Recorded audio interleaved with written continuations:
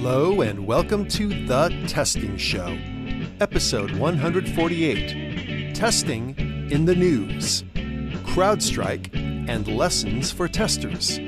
This show was recorded on Wednesday, July 24th, 2024. In this episode, Matthew Heusser and Michael Larsen welcome 1 800 Contacts software test engineer Rachel Kibler and Qualitest CTO Vikul Gupta to consider the findings and speculations around the recent CrowdStrike update. We also look at lessons testers can learn. And with that, welcome back to the on with the show. show. If you're listening to this, by the time you hear this and the show's been edited, the CrowdStrike news is probably going to be slowly filtering out into the background as some new amazing thing has happened but it's an opportunity for us to talk about what we can do better. And these don't come along that often. Today, we want to dive in with our guests. We have Rachel Kibler, friend of the show, been on the show before, former board member of the Association for Software Testing. Hi, it's good to be here. Thanks for having me again. And Vikul Gupta, EVP and CTO for Qualitest North America. Welcome back, Vikul. Thank you, Mike. And as always, we have Michael Larsen, of course. Everybody, glad to be here as usual. Once upon a time, when we did the podcast many years ago, one of the key things that we did was we focused on what was happening in the news for the first couple of minutes, and then we went on to our main topic. We're revisiting that this time. And of course, CrowdStrike is what a lot of us have been talking about. And I think there were a fair number of snap judgments what happened, who happened, who was to blame, all that went with this. And we're going to discuss a bit of that today it's interesting because a lot of people are saying, "Oh no, we can't. Let's not jump to conclusions. Let's wait for the after action report." We've seen this before. I think we did a podcast on Knight Capital, which was a high volume frequency trading firm on Wall Street that lost 400 million dollars in an hour and doesn't exist anymore. It took a while. I mean, it was a year, year and a half before the Securities and Exchange Commission released the report the failure seemed very similar. And we actually really know about that one. So I thought I'd jump into that one, talk about CrowdStrike for a minute, talk about similarities, see where we go from there. So it was a complex system failure in that there were different components that each failed. If any one of them had gone right, it wouldn't have happened. Each of those pieces arguably was correct according to some requirement that needed to be pushed back on and wasn't. For example, it was a, a trading software that had in the software, in the production code, there was also test code. They were intermingled. The test code only ran when you had a certain feature flag turned on called power keg. So they just turned the feature flag off in production and everything was good. Well, they wanted to write a new feature. And for the new feature, they reused the flag. So we're going to rip out the old code. We're going to put new code in this production code. Good. We're going to get rid of that test code running in production. Then we turn the flag on in production. Everything's going to be okay they should have used a different feature flag. That would have fixed it. They reused the feature flag. But that still would have been okay because they ripped out all the code. Then they deployed it. It had eight deploy points that it was deployed to, eight different production nodes. They only deployed it to seven of them. So they deployed the seven, turned the flag on, and then the eighth one, it ran the test code. What did the test code do? At the highest possible frequency, it bought high and sold low and it used the exact same protocols. It sent the same little TCP IP packets that you needed to actually do the work all the way through because they really wanted to test the system end to end. So it had full validation. It took them an hour to figure out what was wrong, turn the system off. And you can kind of understand high volume. If we turn the system off every second we're down, costs us so much money.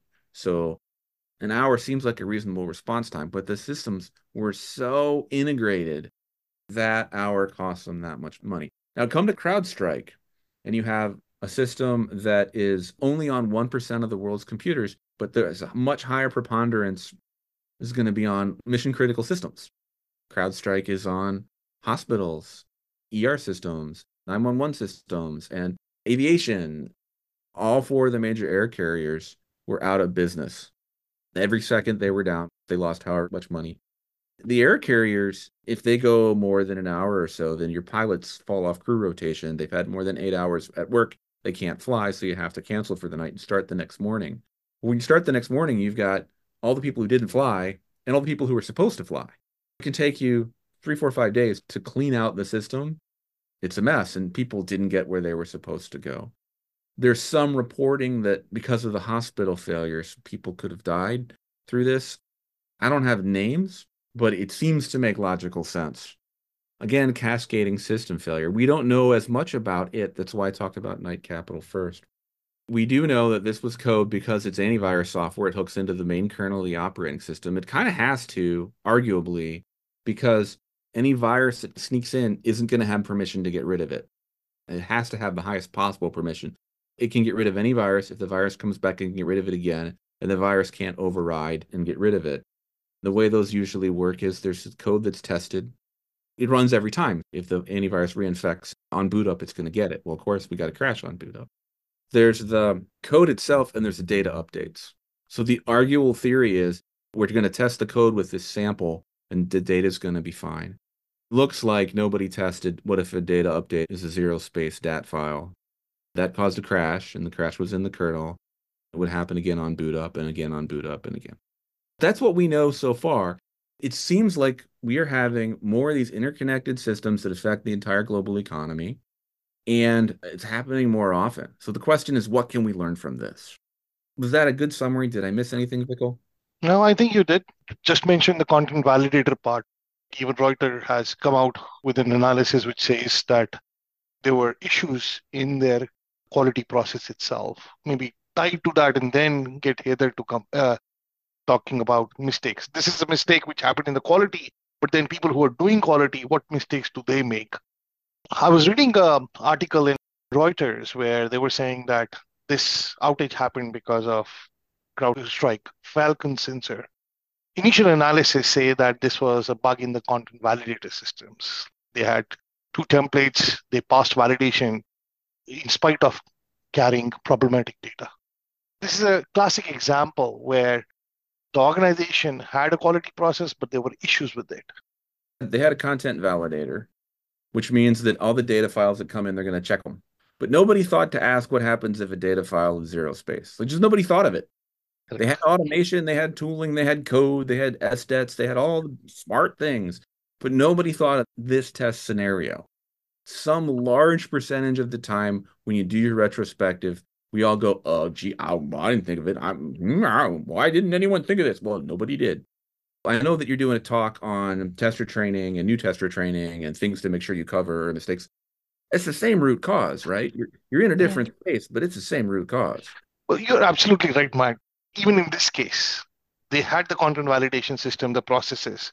And in a typical testing world, when we create test cases as testers, we create these positive, happy path scenarios and then negative scenarios. I think, Matt, that's what you're referring to. If the data file was corrupted or was wrong or was empty or whatever, there should have been a test case to catch that.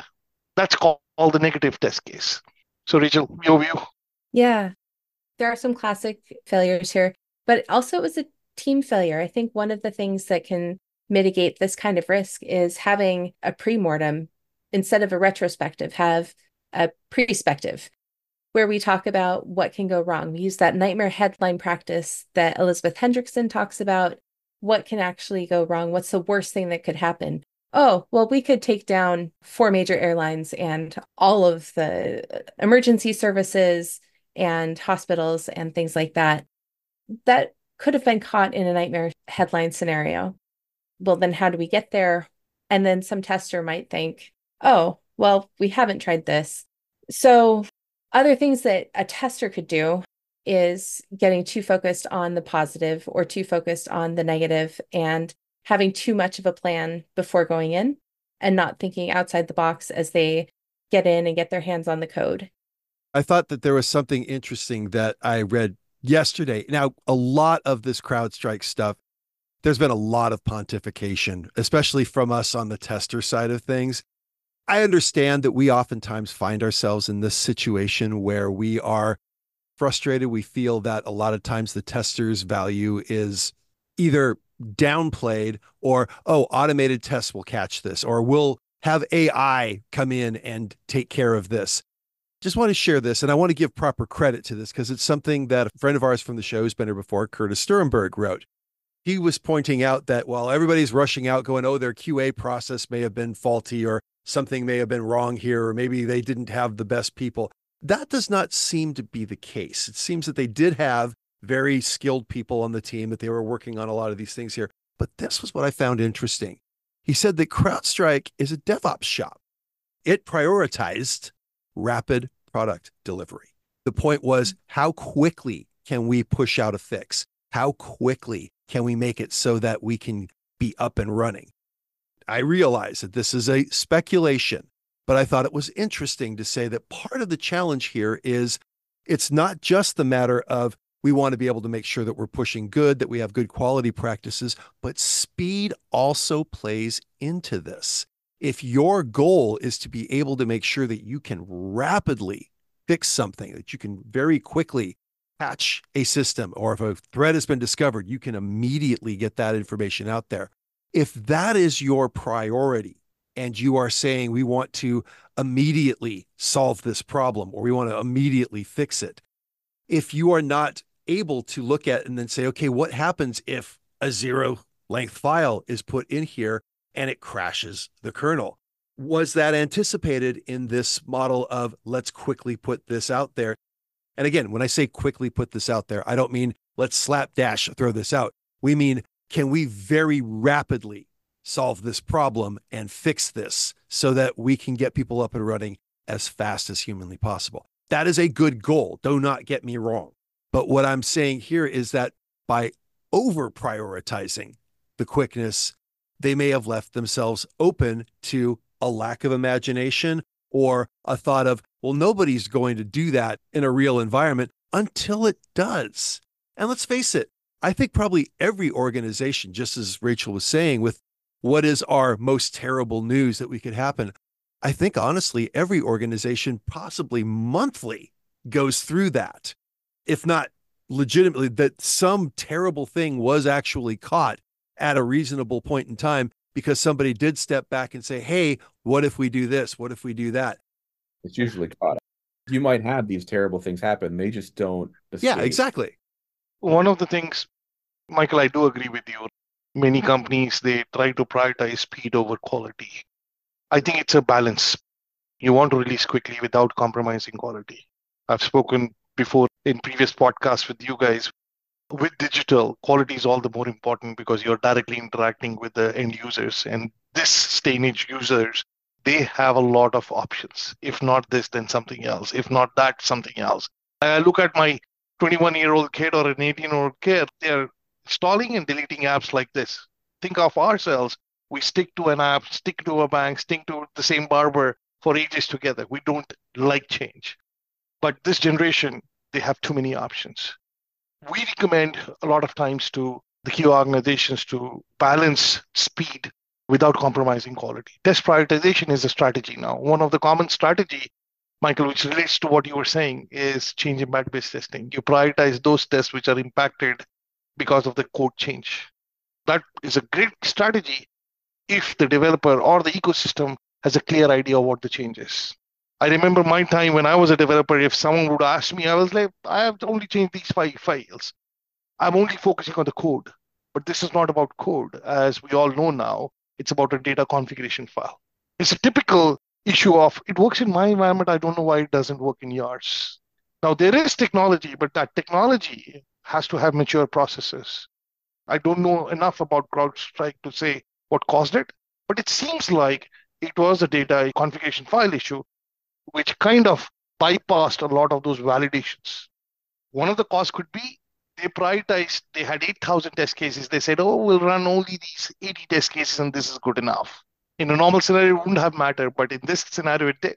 So, how you select the test set from a prioritization standpoint is very critical. To Michael's point, if it didn't crash on boot up so that you can't install the update, they have an update, ready to go. We're going to put it in there but you can't install the update because it crashes on boot up. So let's boot it again. It crashes on boot up.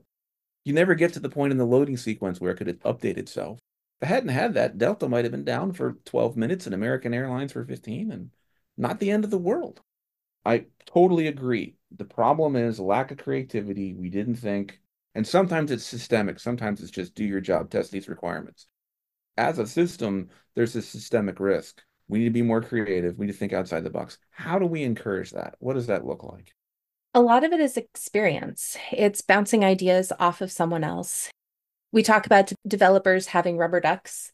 So testers can do this too. Have a rubber duck that you explain your test ideas to, or better, a live person that you can bounce ideas off of.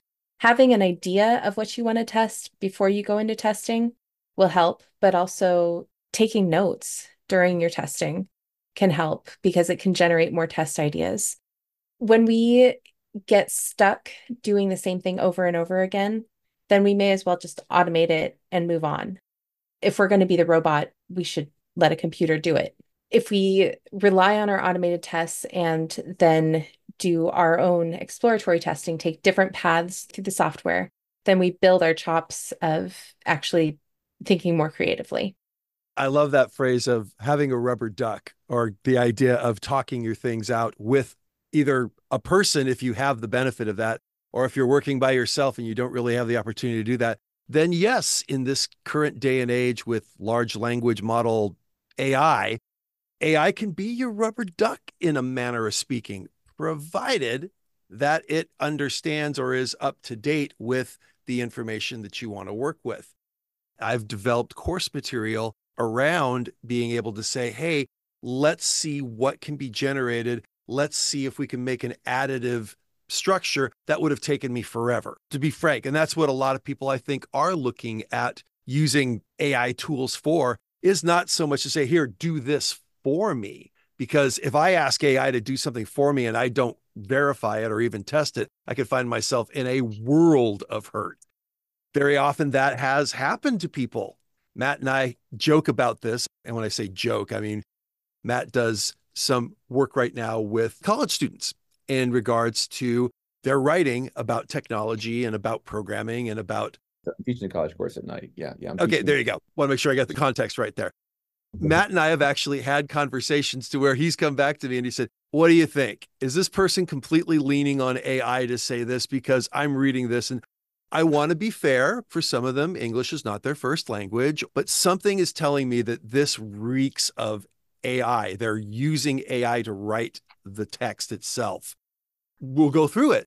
So Matt's rubber ducking with me in this regard. And as I'm reading it sometimes, and I've said, do you ever notice that if you've ever eaten a burrito from a great place and you accidentally bite into tinfoil, that reaction you get? Well, you have the taste and that shock of biting into tinfoil. That's my visceral reaction when I am reading text that comes out to me as this is AI. And I said, well, I cannot 100% guarantee that this person is using AI to generate their answer, but it sure tastes like it. If Matt's okay with me sharing this, this was my comment I understand if you can't necessarily hit somebody and say you're using AI and I'm going to mark you down for that. But what yeah, you cool. can say is you can say, I don't know if you used AI for this or not, but if you did, I'm sorry because the writing is terrible. Or if you didn't, well, I'm doubly sorry because the writing is terrible. It's interesting that when you hit somebody in their vanity, I'm sorry, I'm not giving you full points, not because I think you cheated or not because I think you went out to use AI, but because it's giving me an answer that is horribly unsatisfactory. That can have an interesting effect on what people do. Part of that is a big part of who I am as a writer. And the writing is weak in various levels. It lacks human experience. It uses a lot of third person passive voice. It writes in a sing song voice. It uses adverbs and adjectives in a particular way there are things you can identify, whether AI wrote it or a human. It doesn't really answer the question. It kind of dances around the question in a way that a person wouldn't, which brings us back to using AI for your test ideas. The way the large language models work is they are sort of the geometric average of what someone is most likely to say. What we call hallucinations is bios typically look like this. So you're asking about someone it doesn't know about, and you say, Give me a bio for this person it's never heard of. They'll make something up, things like that. So if we're using it for a rubber duck for test ideas, I think it can come up with a thing we should have known, everybody knows, we just didn't think of. That's sort of sweeping the floor, basic test ideas. And we're talking about ChatGPT, not any advanced testing tool, because there are some that have been trained a little bit with common failure modes that do a better job. But if we're just using the basic tools, I think we can get those. Oh, of course, I should have thought it. I just didn't. And we can go through this huge output that it produces because it's not going to have context. So it's going to have ideas that don't make any sense. You could pick off three, four, five things you didn't think of, add it to your test ideas to run and do better testing. One of the things, it's the same as having a test plan and then sticking to that solely. We get stuck in anchoring bias. So we need to go into ChatGPT with our own ideas first and then ask it our questions of what are some test ideas here. We know this. If we just rely solely on AI, we're going to do a bad job of testing. We need to have our own creativity and our own thinking before we just anchor ourselves to what ChatGPT says. I think my view on AI, Gen AI in general, and how they intersect with testing, Matt and Michael, we talked about this with Alicia in our last podcast. I don't see AI as a replacement for experience as a tester, the tribal knowledge we have testing similar applications. I like how Matt said, right? It's an average. Now, if we are clear on that, there are various ways we can use technology to our advantage. I love, Michael, when you picked on the rubber duck. Yeah, it is a rubber duck. We use it to help validate ideas, bring in a lot more thought Within Qualitest, one of the things we are doing is we are providing this as a tool to increase productivity, not to replace testers. We've created a platform called QualiGen, generative AI for Qualitest customers, where we're using AI to validate the requirements. Is this requirement ambiguous? That is something technology can do a lot better using NLP and other things.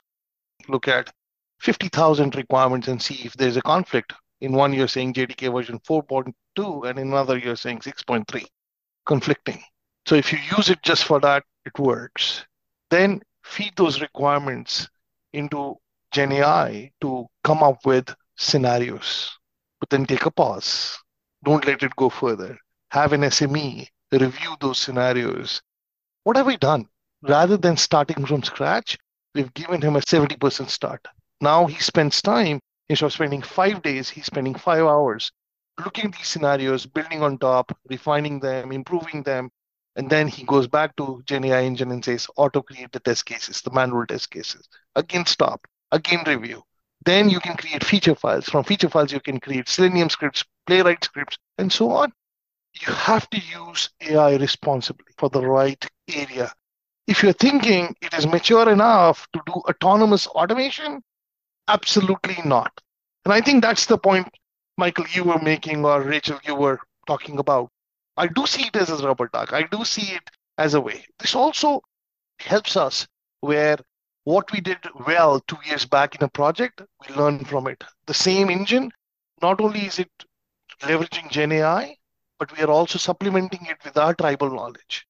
It's an average, like Matt said, but we can make it better than average by sharing our tribal knowledge with that engine and getting it to do better. That's an interesting comment. And I'd like to circle back to Rachel if I can, because this is part of why we asked Rachel to be part of the show. There is this tribal knowledge that we have developed. People come into software testing from many different angles. The most famous phrase that we've been quoted more times than not is I just fell into software testing. It was the case with me. I've actually, over years, because of challenges in the work environment, I've gone to do different jobs that inevitably pulled me back into software testing. So I was able to carry over a lot of that tribal knowledge and also bring over knowledge from other industries, if you will. I did a stint as an application engineer for a bit. I did a stint in technical support for a little while, did a lot of customer service type level things. Those can all inform that branch of tribal knowledge that you need to work with. And oftentimes you will find that your testing ideas don't just come from within the testing community itself, but a lot of them do. In this case, to circle back, what are some of the things that you think that either newer testers or even veteran testers can benefit from stepping back and saying maybe there are some mistakes that we make because of biases, because of lack of time, because of prioritizing speed, because of not really thinking about risk what can we do? How can we better prepare ourselves or situate ourselves to take advantage of that? We are better as a community. We're better as a team who cares about quality. We're better as a community of testers. Using that is really vital. Getting your delivery team together before code is written to talk about risk, to analyze risk. I like doing risk storming every once in a while with my teams to talk about the biggest risks and how we can mitigate them. But also going to conferences, it engages you with an entire community and the hallway conference where you just exchange ideas. That's invaluable. Finding those spaces online where you can engage with people. There are many great communities that share ideas and share experiences. Having your own lived experience is absolutely valuable. We all have varied background. I come from music and math and law because why not? But also being able to experience other people's stories and learning from them. We're better together. I like that. I'll come at it from a technology aspect. Some of the things I see new testers and sometimes even veteran testers make is I'll give an example automation. They're very focused on how much automation coverage do we have. But in that process, they lose sight of have they selected the right framework so that maintenance is easy, self healing capabilities are there or not. Many times I'll go to a customer where I'll ask the question, What is your automation coverage? They'll very proudly say 80, 90, sometimes close to 100%. And then the moment I ask how much of this automation is actually leveraged in your last cycle, and the number is like 27, 37, 48, why this disconnect? Oh, it's very costly and time consuming to update automation. So what do you do then? Oh, we go back to manual. I think we should keep in mind when we are selecting the right tool, the right framework, so that if things change, which they will, because you're releasing every two weeks, every four weeks, it should be easy for you to update your automation and use it. From a concept perspective, I think most of the companies I've worked are N minus one automation, which is they're automating the previous release. A lot of mature companies are moving towards a concept called in sprint automation. And it's not just a technology thing, it's a process thing. You have to estimate it right. You have to have your requirement payload a little bit smaller so that you give time for automation to work, to be developed, and to be executed. The other thing I'm seeing is a lot of companies, irrespective of which vertical you're talking about, whether it is banking, retail, insurance, a lot of applications are not just traditional standalone digital or cloud applications. They are AI infused applications. There's AI in that application. Now, if there is AI in that application, from a testing standpoint, we have to evolve. How do you test a normal application versus an AI infused application? I normally give an example, Michael. If you go to Amazon, search on something, the moment you open up the page, it'll give you a recommendation. You go at six in the night, it'll have a different recommendation. So an AI infused application is non-deterministic output. What does that mean? In a traditional application, you put seven, you're supposed to get 17. No matter when you put it, you'll get 70. But in an AI infused application, the output could be different. So how do you plan for that? With AI comes this whole concept of bias. I heard one of you use bias. So how do you test for bias? A classical example is Apple Card came out. One of the founders of Apple applied along with his wife. He got approved, wife got rejected. They share the same finances because that approval process was biased against women. How do you test for that? Those are concepts which this age testers have to understand, learn, and start utilizing as part of their testing strategy. Technology is evolving. We need to keep pace with the technology. I full on appreciate that. Now, I realize, of course, we are running up on our time limit here. First off, thanks to everybody for coming out and participating with us today. I should also mention that three of us on this call are going to be at the same event in October. So we're going to spend just a little bit of time here pushing for that to mention that Matt, myself, and Rachel are speakers and workshop presenters at the Pacific Northwest Software Quality Conference, PNSQC, this October. So, Rachel, this is our chance to give you the opportunity to plug two things that you are presenting there. Go for it. I'm really excited about being at PNSQC. I'm doing a workshop for beginners using AI in software testing. Really excited about that workshop. I get to do it with one of my favorite people, Carl Kibler. We share the same last name, and we're going to talk about how to use AI effectively in your testing and go into some of the stuff that we've talked about today. And then I'm also giving a talk on mistakes that I've made in training new software testers. They have been many. So it'll be a vulnerable talk, but hopefully you can come away with some ideas on how to train new testers and not make the same mistakes. I want people to make their own mistakes, unique mistakes, not the ones that I make. get out the get out the bottom floor level mistakes so you can get to the interesting ones. Exactly. Michael and I are doing a half day lean software testing course. We really should be hitting the highlights. So it should be, I think, pretty powerful. And we're doing a talk on hip or hype in AI testing, which at this point, I think we can all agree is at least a little bit of both, right? Absolutely. so we are excited about that happening. That's probably the big thing that all of us are focused on going forward. At least the three of us that are on this call today. Vikul, of course, is focused on the goings on with Qualitest and the offerings that they have. And of course, you can always check out their site, which graciously hosts this podcast. Vikul, is there anything new and exciting in your corner of the world you want to make sure we get on the air? I think we're seeing a lot of traction on. I do agree with Michael about releasing fast. Most of the companies we are working with are wanting to release faster we have to find out ways where we can release faster without compromising quality. And that's what we are focusing on. We are looking at adopting GenAI to not replace, but help us assist in testing faster. All right. Well, hey, thank you so much, everybody, for participating with us today. Rachel, Matt, Vikul. Thank you so much for being part of the show, as always. And to our audience, thank you very much for joining us. And we will see you next time. Take care, everybody. Absolutely. Bye. Bye bye. That concludes this episode of The Testing Show. We also want to encourage you, our listeners, to give us a rating and a review on Apple Podcasts, YouTube Music, Spotify, and the other places that The Testing Show can be found. Those ratings and reviews help raise the visibility of the show and lets more people find us. Matt and Michael have written a book that has distilled many years of this podcast, along with our decades of experience.